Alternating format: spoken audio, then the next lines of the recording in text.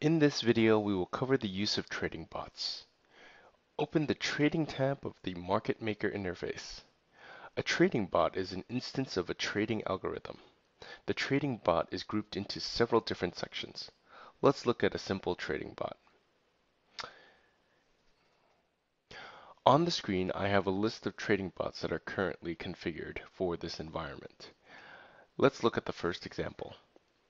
In the first trading bot, you see there's a numerical value associated with this particular trading bot, and you can see some details displayed. If we look at the instrument section and click on the right arrow, you'll see the details are expanded. In the instrument section, you can define the instrument and exchange that you want to subscribe to. You can specify multiple instruments and exchanges by adding a comma after each entry. For example, as you can see, I have LTC BTC as my instrument, and the exchange is currently Coinbase. If I were to add a second entry, I could simply just place a comma and type Kraken.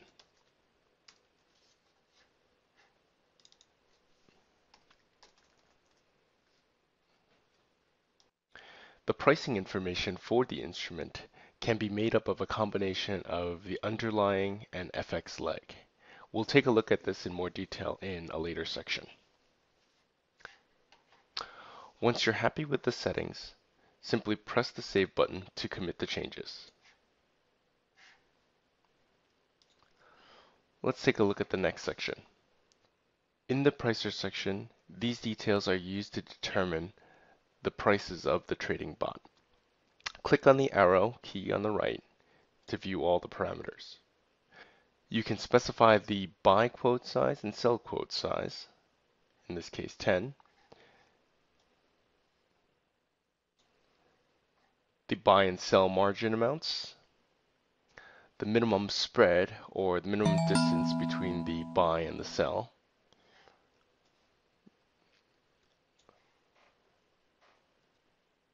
the minimum price change in basis points.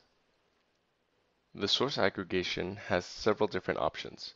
If you double click on the entry field, you will receive a list of the options. Best aggregated. The base price for sell quotes is calculated as the average price of buying a given size via the consolidated limit order book. For best single, the base price is calculated for each exchange in the list the exchange with the best execution price will be used. Worst single, the base price is calculated for each exchange in the list. The exchange with the worst execution price will be used. BBO, the base price for sell quotes is the lowest across all exchanges, and vice versa for the buy side. Midpoint is simply just the midpoint of the best bid and best ask. Replication. This allows you to replicate the liquidity profile from source exchanges. We'll review an example of this in more detail in a later session. You have the FX aggregation column. Uh, if the FX leg was specified in the instrument section, you can define how the FX aggregation will be defined. Again, we'll look at this in a later example. Once you're happy with the changes, press Save to commit All right. And we can go ahead and turn on the pricer by pressing start.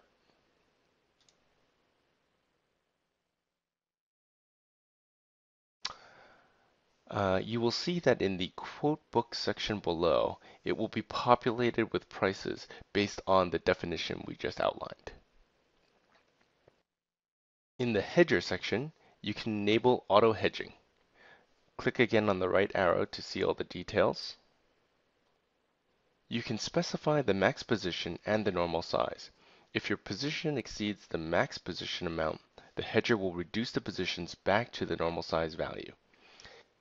In our example here, you will see that our max position is set to 1 and will return to a 0 position if the max position is breached. As you can see, there is a space between the two parameters uh, indicating the max position and the normal size. You can specify the hedging instrument. If the field is blank, the instrument field will be used. The hedging strategy is currently set to limit and this is the only option at the moment. And this may change in a later release. The execution price determines how the child orders will be placed. Again, there are several options here. If we double click, lean means it will place the child orders at the best market price. Passive means child orders will be placed one tick from the best market price. Cross market means the child orders will be placed with an aggressive offset to the lean price at the child order sent time. The venues list determines where the child orders will be placed. Again, you can specify multiple exchanges by placing a comma after each entry. The max order size column means that the hedger will not place orders with size exceeding this value. If the value exceeds the max order size, it will be divided into smaller orders of max order size. The resend time means the hedger will place a new order or place an existing order after this interval. The max offset controls the worst limit price for the hedger.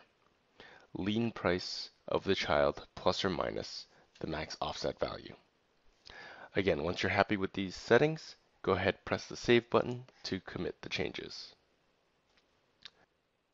Now if we go back to our hedger, uh, we can start the hedger by pressing the start button. And you will see down below here in the hedger section that our hedger book will now be populated with quotes based on that bot definition. The in the risk section, you can specify the tolerance exposure of each trading bot. Again, we'll click here on the right arrow to expand all of the parameters.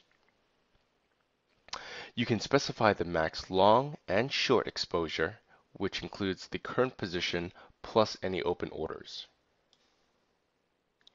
Scroll over a bit here to the right. The minimum buy Sell quote active time represents a time in milliseconds to keep the quoting order on before it is canceled or replaced.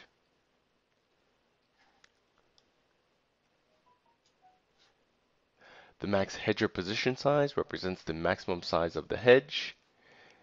The max quoter size represents the maximum size of the existing price quote. For the maximum day loss, if this limit is breached, the bot will cancel all quoting orders and the trading bot will be stopped. Again, if you're happy with all these settings, go ahead and press the save button and those changes will be committed. There are two additional sections here. We have the statistics section, which basically displays a bunch of trading statistics, including information about the current position size, uh, open buy sell quantity amounts. Same for the hedger uh, quantity uh, sold and bought amounts as well. There's also information about the P&L and account P&L for each of the trading bots. Finally, there's a section on real-time statistics which displays some indicator values calculated in real time.